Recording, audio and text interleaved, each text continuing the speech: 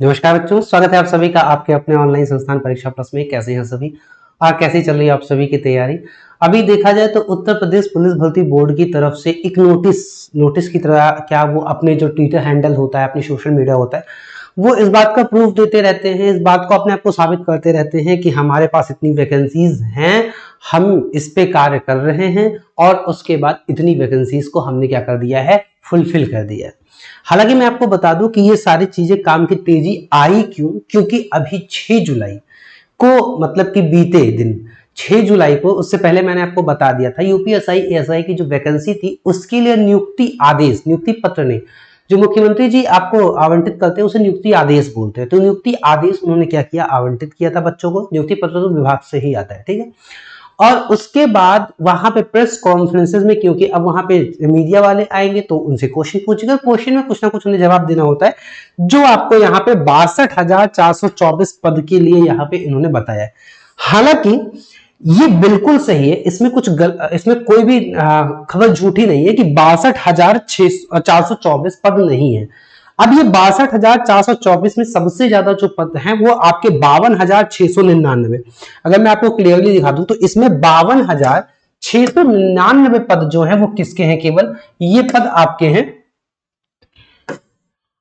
UPP, UP constable के आरक्षी एवं समकक्ष इसमें पीएससी है, इसी में और भी पद है, समकक्ष मतलब इसमें आपके नागरिक वाले भी हैं, आरक्षी वाले भी हैं, और भी इसमें जो पीएससी वगैरह होते हैं, वो है बावन हज़ार छह सौ निन्यानवे।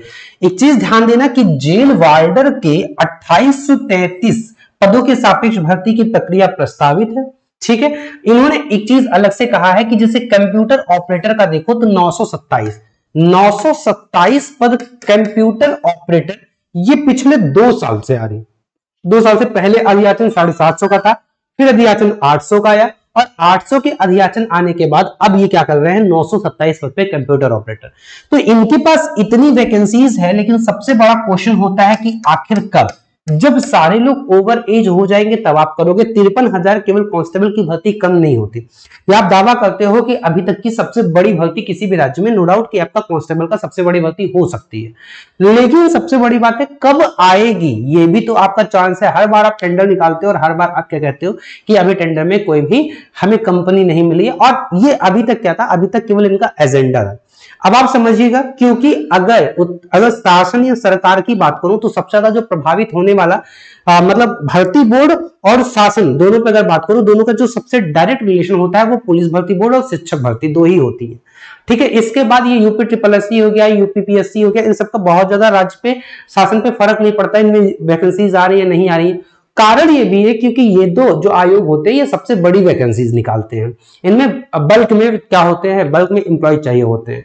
तो इसके कारण से उन्हें क्या लेना होता है? क्रेडिट लेना होता है। क्रेडिट लेने में नो डाउट मेरे ख्याल से योगी जी से ज़्यादा बढ़ के इस दुनिया में मेरे ख्याल से कोई नहीं होगा। ये कहते हुए शब्द मुझे थोड़ा सा गंदा लगता है। बट हर बार वो न्यूज़ में फोकस में रहना चाहते हैं, कह लेते हैं कि हमने ये करवाया।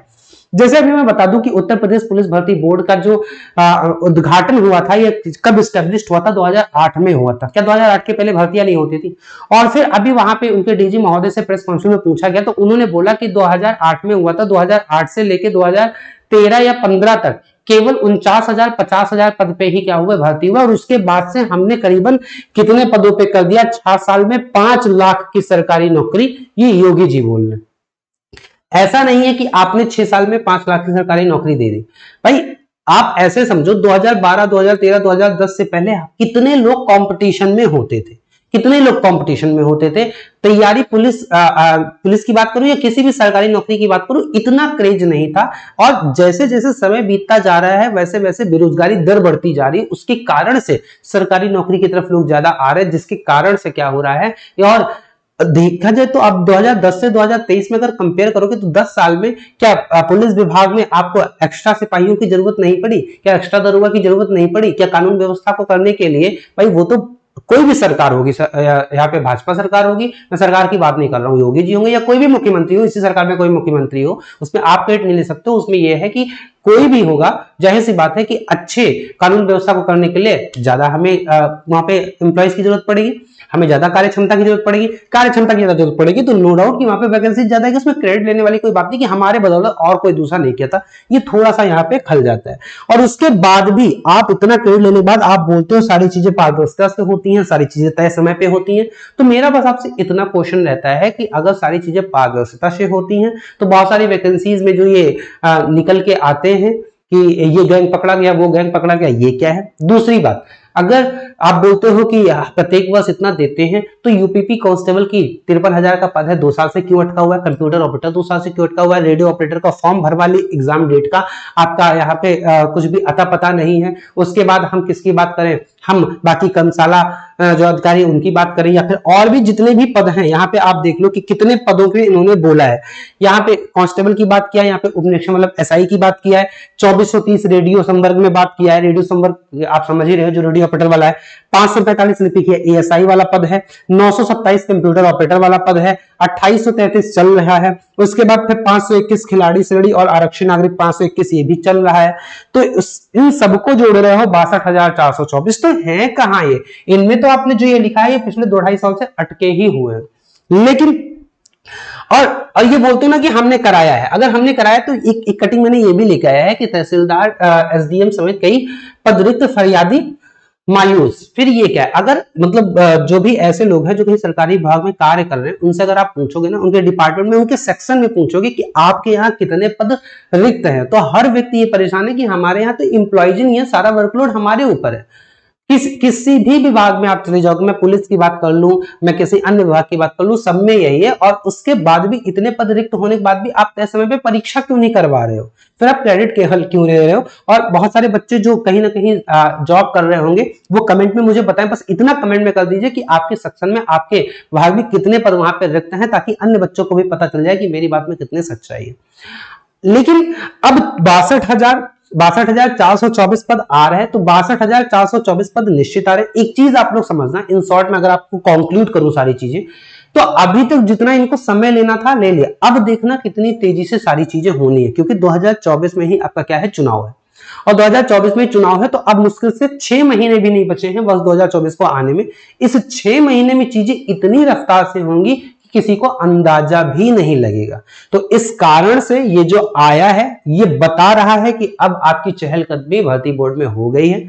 और जैसी मुझे न्यूज़ रहती है, मैं कभी भी जब भी वीडियो लेके आता हूँ तो मेरे पास कुछ कुछ कंक्रीट रहता है, तभी मैं अनर्गल बातें तो नहीं करता हूँ, ये आपको भी पता है। कह रहा हूँ तो कुछ भी उसके पीछे रीजन ही होगा, ठीक है? तो अब आपके आने वाले महीने, जुलाई के मिड जुलाई के बाद से ही, पंद्रह जुलाई के बाद से ही आपको सब कुछ देखने को मिल जाएगा। उसके बाद अगस्त, सितंबर में बहुत सारी चीज़ें आपको नए नए आवेदन नए नए टेंडर नए नए चीज़ें आपको देखने को मिलेगी और दो तीन एग्ज़ाम की परीक्षा तिथि भी देखने को मिलेगी। तो तैयार रहिए, अपनी तैयारी शुरू कर दीजिए, अब लेट मत करिए रेडियो ऑपरेटर, कंप्यूटर ऑपरेटर, इन सब का जितने भी बैचेज आ रहे हैं, जितनी वैकेंसी आ रही है, इन सबके बैच ऑलरेडी परीक्षा प्लस पे चल रहे हैं। तो जो तैयारी कर रहे हैं, वहाँ से जुड़ सकते हैं। कंप्यूटर ऑपरेटर का बैच चल रहा है, रेडियो ऑपरेटर का बैच चल रहा है। यूपीएसआई एसआई जब पहली बार बोले थे, तभी से हम लोगों ने उसका क्या कर दिया था? तभी से हमने इसका कॉम्बो बैच कर दिया था क्योंकि पता था कि इतनी जल्दी नहीं आनी है तो बच्चे को मिनिमम फ़ीस में थोड़ा थोड़ा पढ़ता रहे। जब आएँगी तो मैं टारगेट बैच आपका अलग से दूँगा बट अभी आप लोग उसी से पढ़ते रहो और जो बच्चे आज के बाद से उस बैच में इनरोल होंगे, उनको क्या कर दिया जाएगा? उनको उस बैच में, नए बैच में टारगेट बैच में जोड़ भी दिया जाएगा। इस बात को मैं आपको आश्वासन दे रहा हूँ, ठीक है? कंप्यूटर ऑपरेटर का बैच चल रहा है। यूपीपी कांस्टेबल यूपीपी कांस्टेबल का 2.0 का एकदम नया बैच चल रहा है। आप उससे जुड़ सकते हो और यूपीएसआई एसआई भी जुड़ सकते हो। कंप्यूटर ऑपरेटर और रेडियो ऑपरेटर से भी जुड़ सकते हो। मतलब जो भी आप जुड़ सकते हो। एक चीज़ मैं ये बोलूँगा कि जो सबसे पहले जो परीक्षा होने वाली है, उस चीज़ को ध्यान दीजिएगा। जो सबसे पहले आपकी परीक्षा होगी, वो परीक्षा आपकी रेडियो ऑपरेटर की होगी। सबसे पहले जो परीक्षा होगी, वो रेडियो ऑपरेटर की परीक्षा होगी। जो सबसे पहला फॉर्म होगा वो आपका क्या होगा? वो कंप्यूटर ऑपरेटर का होगा। ये ध्यान दीजिएगा थोड़ा सा। ठीक है? हो सकता है सिपाही वाला कंप्यूटर ऑपरेटर का सबसे पहला फॉर्म हो सकता है। कंप्यूटर ऑपरेटर और कांस्टेबल दोनों साथ साथ ही आना है फॉर्म हो सकता है पंद्रह जुलाई या फिर आपको बीस जुलाई सेकंड वीक या थर्ड वीक में जुलाई के, या हो सकता है फोर्थ वीक हो जाए, या फिर आपका कांस्टेबल इन दोनों में से कोई एक आपको देखने को मिल जाए तो अपनी तैयारी बिल्कुल से आप स्टार्ट कर दीजिए। बाकी रेडियो ऑपरेटर का बैच चल रहा है। इसमें से बहुत सारे बच्चों का साइंस का डिमांड रहता है। तो मैं आपको इतना बता दे रहा हूँ कि साइंस की बाकी थेरी क्लासेस तो चल गई हैं। 8 पीएम पे 8 पीएम पे डेली बेसिस पे अब मैं खुद ही साइंस की क्लास लेके आ रहा हूँ, ठीक है? खुद ही साइंस की क्लास लेके आ रहा हूँ, ये एमसीक्यू बेस्ड होंगे और साइंस में आपके फिजिक्स केमिस्ट्री वाले पार्ट जो है, जो आपका रेडियो ऑपरेटर के लिए इंपॉर्टेंट है, उनको मैं यहाँ पे कवर कर रहा हूँ। ये आपका रेडियो ऑपरेटर में भी बहुत सारे बच्चे जो ये हमारे स्लैब अटेंडेंट की तैयारी कर रहे हैं, उनके लिए भी आपका एमसीक्यू बैच चलता रहेगा ताकि आपकी प्रैक्टिस होती रहे। समय कम रहे हमारे सारे बच्चों को तो यहाँ पे मिल जाए।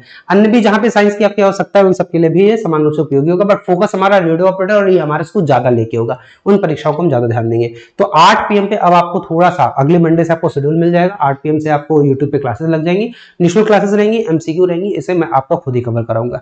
बाकी जो भी हमसे हो सकता है, वो आपकी मदद के लिए मैं यहाँ पे हमेशा हाजिर रहूँगा। इससे पहले भी हमने उत्तर प्रदेश पुलिस भर्ती बोर्ड के मैक्सिमम वैकेंसीज में यहाँ तक भर्ती बोर्ड जाके भी आपकी मदद की है और आगे भी आपको आशा आपका आश्वासन देता हूँ कि जब भी ऐसा होगा तो मैं आपको, आपकी मदद के लिए पूरी टीम के साथ लेके खड़ा रहूँगा। अन्य आपके कोई प्रश्न रह गए हो जो मैं मैं ना बता पाया हूँ तो आप कमेंट बॉक्स में मुझसे पूछ सकते हो। एक बात कमेंट में मुझे ज़रूर बताना सभी लोग कि आप किस किस परीक्षा की तैयारी करते हो। जो भी वीडियो देखेंगे, एक बार आप कमेंट ज़रूर करें। आप कंप्यूटर ऑपरेटर की कर रहे हो तो कंप्यूटर ऑपरेटर लिख देना। सर, मैं कंप्यूटर ऑपरेटर कर रहा हूँ। सर, मैं रेडियो ऑपरेटर की कर रहा हूँ। सर, मैं ये कर रहा हूँ कांस्टेबल की कर रहा हूँ, जो भी हो आपको एक बार मुझे ज़रूर बता देना। उसके बिहार पे मैं जो भी होगा, उसकी इन्फॉर्मेशन आपको जल्दी से जल्दी देने का प्रयास करूँगा। फिर मिलता हूँ बहुत बहुत धन्यवाद सभी का बहुत बहुत आभार। चैनल पे नए हो, चैनल को सब्सक्राइब अवश्य कर लीजिएगा। धन्यवाद सभी का।